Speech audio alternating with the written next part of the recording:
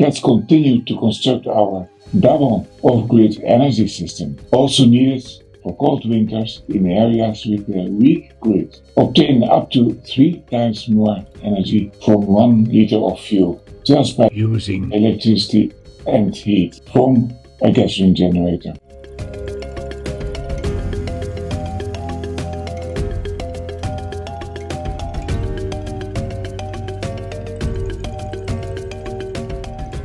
Hi Norbert here, energy engineer, and explaining in video number 76 how I start building a power station from a gasoline generator that gives electricity and heat at the same time. As you see, it will become much more than only a source of power. That is because you don't want just power, but comfort.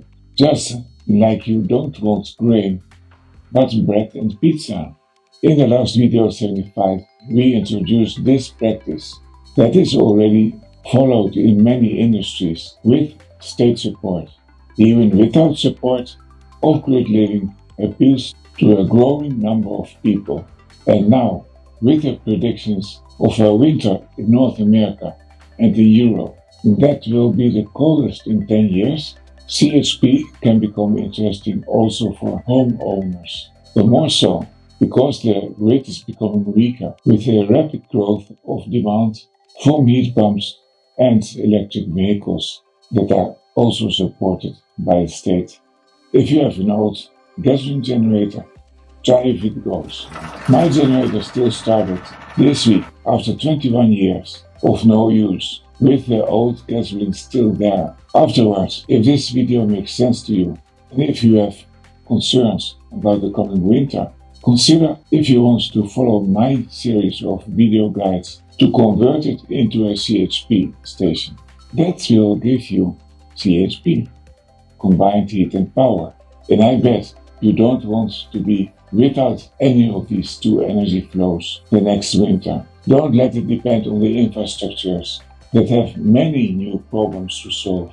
I got together a few materials and also a few new ideas. Sorry, but after video 75 of Wednesday, I had only two days until now.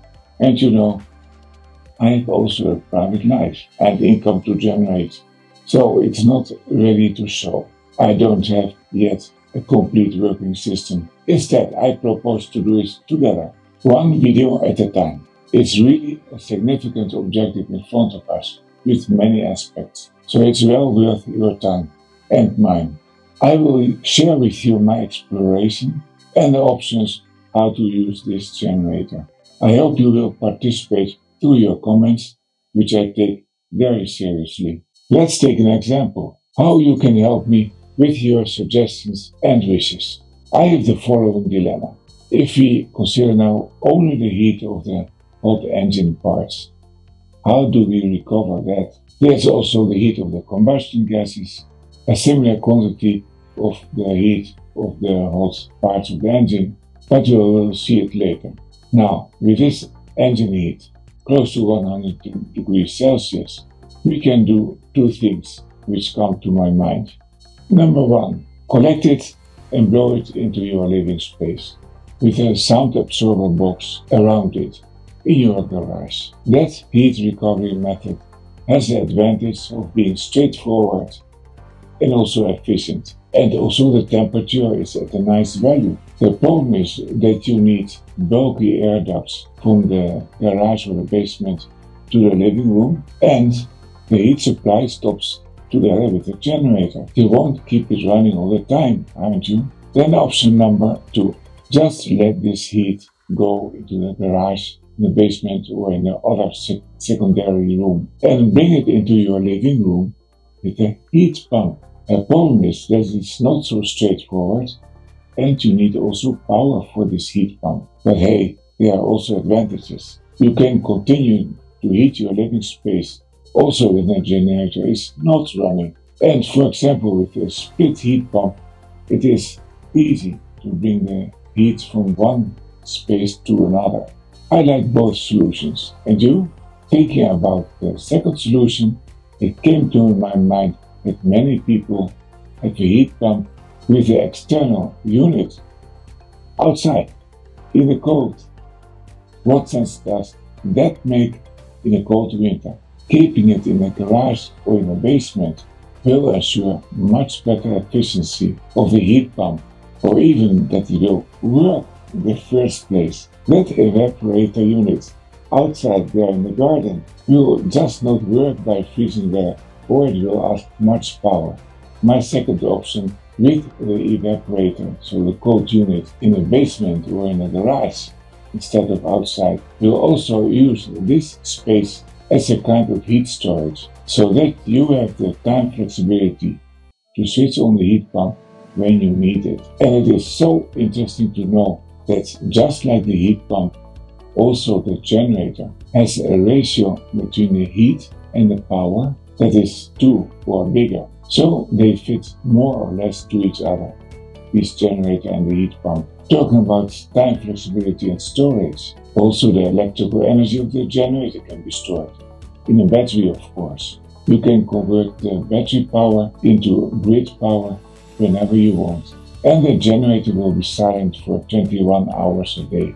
In the summer it's a bigger challenge. Such a split heat pump will make the secondary space warm. But also in this case your air conditioner will take less power because of the better efficiency if it is outside warmer than inside in your garage and you can vent this secondary space, especially during the night. Otherwise, if this internal space is uh, really getting hot, then you don't need a split heat pump, which is air to air, but a swimming pool heat pump, which is air to water, and a tank of water to absorb the heat. Okay, now we are in winter, and the split might be a nice solution in a secondary room. My solution will be not this split, but this swimming pool heat pump that I have already. See video 20. It will bring water up to 40 degrees Celsius to your living room, which you can use in a fan cooler or even in a self-made heat blower. See both these solutions in video number 69 at minute 10. The swimming pool heat pump is easier to install than a split. As one of you commented under a video, you bring warm water to the wall instead of refrigerant, and that you can DIY. Thank you for this idea from the community. Before going on with the materials I selected, here a comment about the sustainability of gasoline generators. I found the following comment on my introductory video of last Wednesday.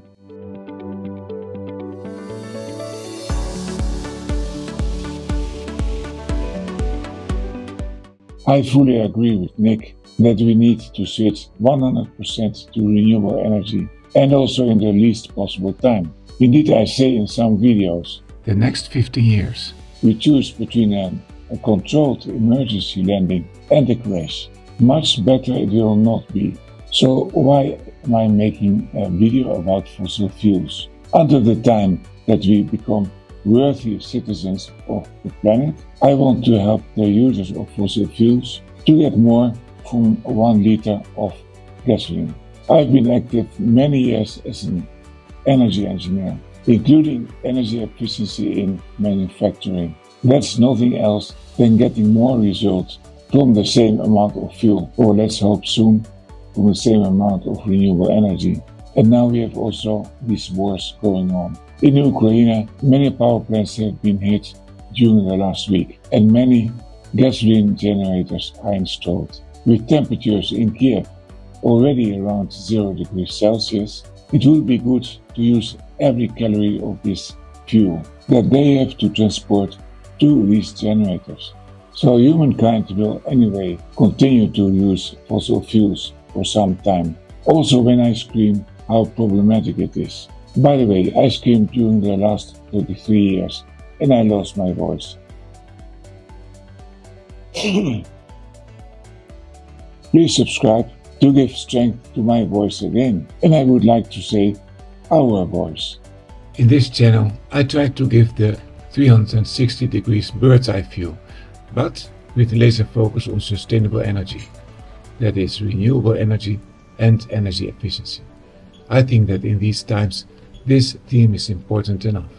So join also the Facebook group in two languages, in English and Italian, so that we can start a real dialogue and not only a one-man show. Now I've got these elements.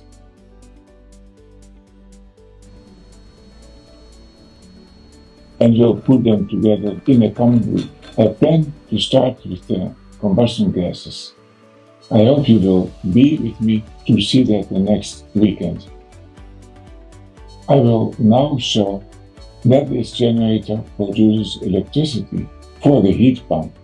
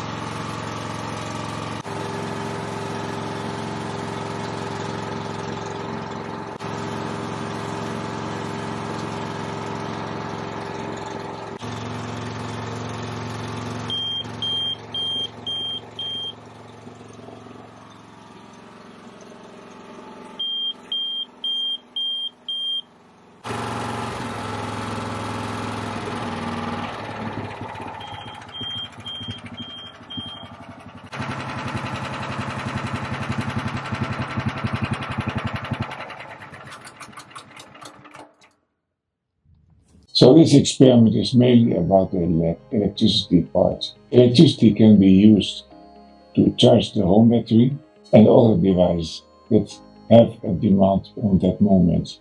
Considering what I said before, a third part of consumption is this heat pump if it is an important part of the whole configuration. Summarizing the results of the experiments is not yet much, but we will go on. I invite you to comment on the preferred setup. A buffer room, direct heat recovery, or a third option. Please, me, please tell me which is this third option. Let me also know what you would like for the membership levels and if you appreciate a direct contact with the community and with me during Q&A sessions in five languages. During the next videos I will first connect the radiator on the combustion gas outlet and then wait for your comments what to do with the heat of the hot engine and of course also the hot muffler. I hope to have this Wednesday additional results, otherwise I will show another nice video and I have already the footage ready. Next weekend we will certainly see show a video about the generator again. I wish you good energy.